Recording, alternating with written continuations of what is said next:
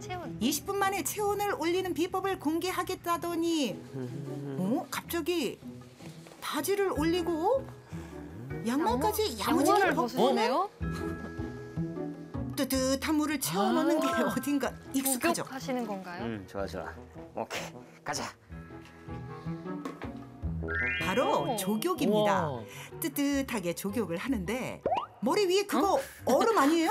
자, 두한족열이라고 들어보셨죠? 머리는 시원하게, 발은 따뜻하게. 주격이나 반신욕을 하게 되면은 우리 몸의 혈액순환이 좋아지기 때문에 체온이 상승됩니다.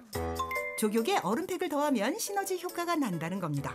잠이 잘 안 온다. 그럴 때 발을 따뜻하게 해주고 머리는 시원하게 해주고 그러면 어떻게 되겠어요? 어 하다 말고 이렇게 아우 조는 거죠 이렇게 아우 큰일인데 나 오직을 해야 되는데 아우. 선생님 여기서 주무시면 안 됩니다.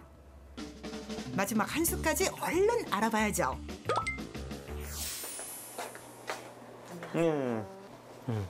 손발이 차다고요 지금 네, 음. 손발도 차고 혈액순환이 안 돼서 그런지 음, 음, 음, 음. 잘안 먹어도 자꾸 체중이 늘어요. 맞습니다 우리가 순환이 안 되고 그러면은 살이 찌는 거 비만? 맞습니다. 옛날에 한때 제가 98kg까지 왔었거든요. 예. 과체중 비만이다. 그러면은 땀벌 흘리고 그러니까 몸에 열이 많겠구나 하는데 그렇지 아니합니다. 순환이 안 되니까 대사가 더 안 되게 되고 그러니까 노폐물이 더 쌓이게 되고 다시 또 비만이 되고 악순환이 되는 거죠.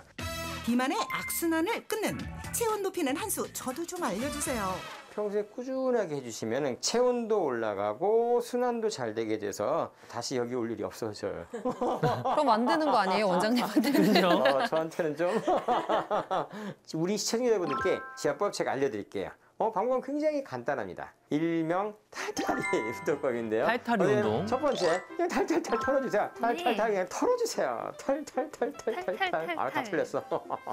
자, 두 번째 뭐예요? 깍지 껴주시고 빡빡 때려주세요. 손바닥 부딪히기. 거죠. 이렇게 열심히 했는지 안 했는지 볼 수 있어요. 어떻게?